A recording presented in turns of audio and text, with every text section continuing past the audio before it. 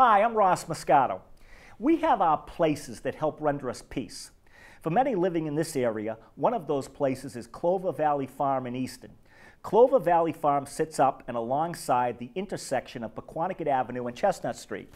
Clover Valley Farm is an actual farm with farm animals and where horses are boarded, chickens roam freely, hay is harvested, corn is grown, and sawdust is made. It has wide and long pasture buffeted by woods and stone walls and a river that weaves through the property.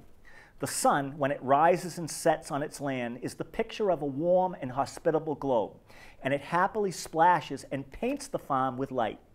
Clover Valley Farm is owned by the Wilbur family, longtime Yankee and Easton stock. The patriarch of the family is Charlie Wilbur, an Easton native. Charlie Wilbur died on Monday, January 18th, after a brief illness. He leaves his wife Donna of 50 years and his children, Don, Charles, and Todd, and four grandchildren and one great grandchild. Charlie Wilbur was a farmer's farmer, literally one of a dying breed in America. He worked very hard. He was a standout and caring farmer. He was a standout and caring person. Heavy set with plump jowls and a full head of silver hair, Charlie bestrode his farm in his green farmer's work clothes. He was something like out of a Norman, Norman Rockwell painting.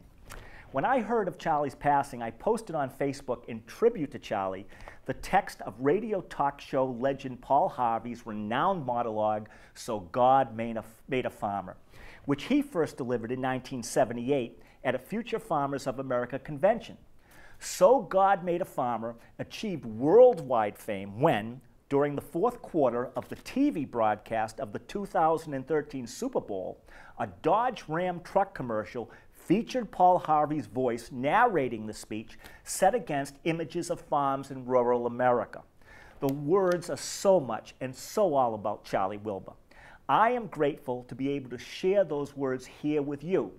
Here is Paul Harvey's So God Made a Farmer. And on the eighth day, God looked down on his planned paradise and said, I need a caretaker. So God made a farmer. God said, I need somebody willing to get up before dawn, milk cows, work all day in the fields, milk cows again, eat supper, and then go to town and stay past midnight at a meeting of the school board. So God made a farmer. I need somebody with arms strong enough to rustle a calf and yet gentle enough to deliver his own grandchild. Somebody to call hogs, tame cantankerous machinery, come home hungry, have to wait lunch until his wife's done feeding visiting ladies, and tell the ladies to be sure and come back real soon and mean it. So God made a farmer.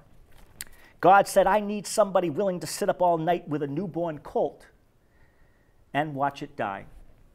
Then dry his eyes and say, maybe next year. I need somebody who can shape an axe handle from a persimmon sprout, shoe a horse with a hunk of car tire, and who can make harness out of haywire, feed sacks, and shoe scraps and who, planting time and harvest season, will finish his 40 hour week by Tuesday noon, then painting from track to back, put in another 72 hours, so God made a farmer.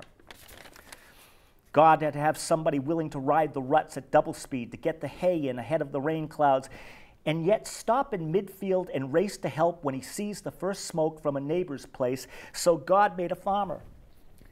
God said, I need somebody strong enough to clear trees and heave bales, yet gentle enough to tame lambs and wean pigs and tend the pink comb pullets, who will stop his mower for an hour to splint the broken leg of a meadowlark. It had to be somebody who plowed deep and straight and not cut corners, somebody to seed, weed, feed, breed, and rake and disc and plow and plant and tie the fleece and strain the milk and replenish the self feeder and finish a hard week's work with a five mile drive to church. Somebody who'd bale a family together with the soft, strong bonds of sharing, who would laugh and then sigh and then reply with smiling eyes when his son says he wants to spend his life doing what da- his dad does. So God made a farmer. Godspeed, Charlie Wilbur and may the angels take you in their embrace. Thank you.